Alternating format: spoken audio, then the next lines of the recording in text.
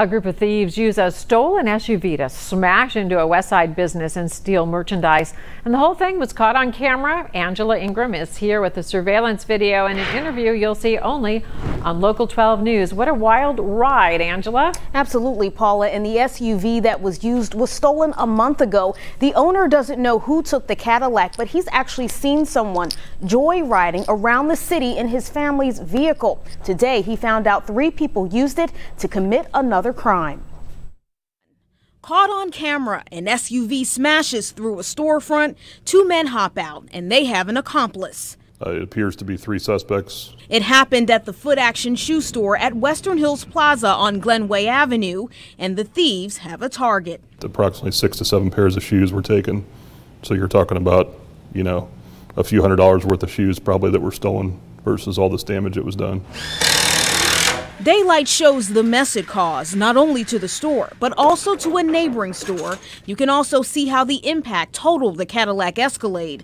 Police towed it as evidence, and the owner found out this morning.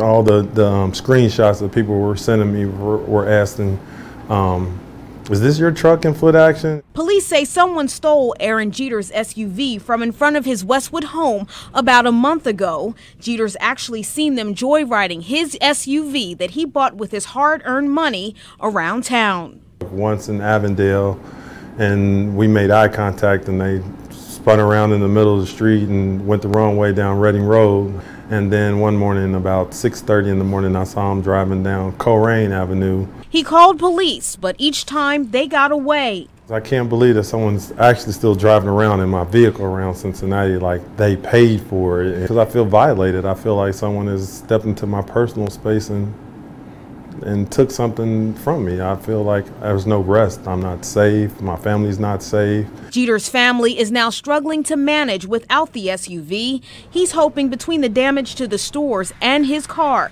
someone will report what they know. We just have to stand up as a, as, as a people and a culture and say when something's wrong.